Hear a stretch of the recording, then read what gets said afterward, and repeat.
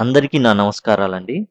ఇప్పుడు మనం English practice course two అంటే సెకండ్ సెమ్ వాళ్ళకున్న ఇంగ్లీష్ సిలబస్‌లో ఐదు యూనిట్లు ఉన్నాయి ఆ ఐదు యూనిట్‌లో చివర ఐదో యూనిట్ చివరిది నాలుగోది ఈ కరెస్పాండెన్స్ గురించి మనం ఇప్పుడు చర్చించుకోబోతున్నాం ఈ వీడియోలో.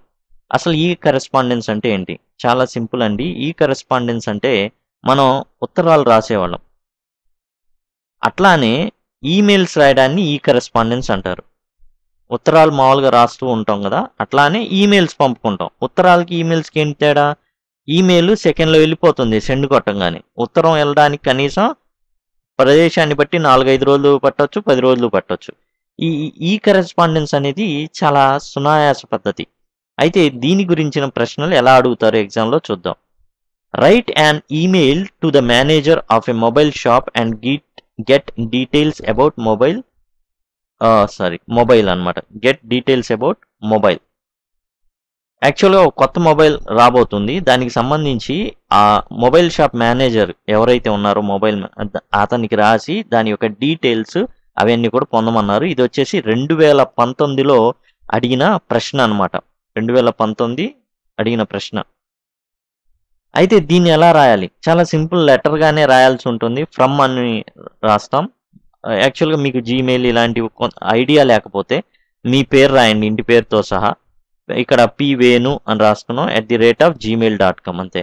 టూ ఎవరికి రాయాలి? మొబైల్ షాప్ మేనేజర్‌కి రాయమన్నారు. ఫ్రమ్ నుంచి రాసేస్తాం ఈమెయిల్. తర్వాత టూ ఏం రాయమని ఈమెయిల్ రాయమన్నారు మేనేజర్‌కి. మనం ఏదో ఒక షాప్ పేరు పెట్టేస్తాం. ఈ మొబైల్ అని పెట్టుకున్నాం. Manager at the rate of Gmail dot com. దీని గురించి పెద్ద ఆలోచించాల్సిన అవసరం లేదు. ఏదో ఒక పేరు పెట్టేసి ఒక జీమెయిల్ రాసేస్తే సరిపోతుంది. తర్వాత సబ్జెక్ట్ ఉంటుంది. ఏంటంటే details details regarding new cell phone. కొత్త సెల్ ఫోన్ గురించిన డీటెయిల్స్ కనుక్కోమన్నారు కాబట్టి దానికి సంబంధించి మనం రాస్తాం. సబ్జెక్ట్ అని details regarding new cell phone. ఎందుకంటే చూడంగానే అర్థమైపోవాలి. ఇతను సెల్ ఫోన్ గురించి అడుగుతున్నాడనేసి. Dear sir madam I'm I very happy to know through your advertisements that you are launching a new mobile phone. మీ షాప్‌లో కొత్త మొబైల్ ఫోన్ ఒకటి లాంచ్ అవ్వబోతుందనే విషయం అనేది మీ అడ్వర్టైజ్ యాడ్స్ వల్ల తెలిసింది. I would like to know the features of the mobile phone. Me mobile phone ఏదైతే ఉందో దానికి సంబంధించిన ఫీచర్స్ కనుక మీరు తెలియజేస్తే బాగుంటుంది. As well as I would like to have price details so that I can buy as soon as you put it on sale. మీరు ఏంటంటే ఒక ఫీచర్సే కాదు ప్రైస్ డీటెయిల్స్ కూడా మీరు తెలిపితే కనుక ఏమైనా డిస్కౌంట్ కానీ అట్లాంటివి ఏమైనా ఇస్తున్నా దానికి సంబంధించి మీరు కనుక ఏ విషయం కనుక తెలియజేస్తే ఖచ్చితంగా మేమేం చేస్తామంటే మీరు సేల్‌కి పెట్టంగానే మేము కొనేస్తాం. Kindly send the details of it. దానికి సంబంధించిన డీటెయిల్స్‌ని మాకు తెలియజేయండి. థ్యాంకింగ్ యూ అండ్ పేరు రాయాలని రాస్తా లేకపోతే ఇట్లా గీతలు పెట్టేస్తాం ఎగ్జామ్‌లో.